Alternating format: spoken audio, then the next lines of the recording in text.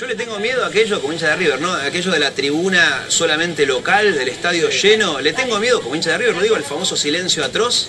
Viste, vamos 1 a 0, toda alegría, 2 a 0, qué sé yo. Pero tengo miedo que pase algo raro, ah, por de boca por supuesto, y que viene ese silencio en el Monumental que te mata. Que ojo, no lo critico, ¿eh? Pues yo también hago silencio como hincha de River. Viste que el hincha de River es medio así. Sí, sí. Alienta cuando nos va bárbaro, cuando no, bueno, uno mira el partido y desea lo mejor, pero le tengo miedo al efecto silencio atroz que esperemos que no, no ocurra en este caso.